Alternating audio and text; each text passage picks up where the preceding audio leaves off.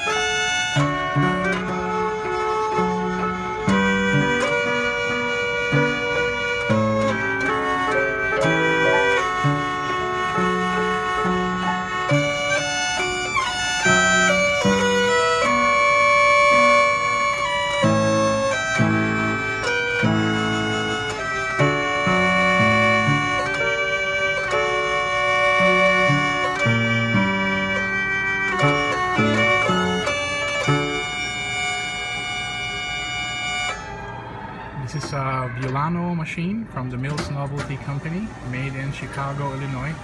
A real nice antique. Thank you.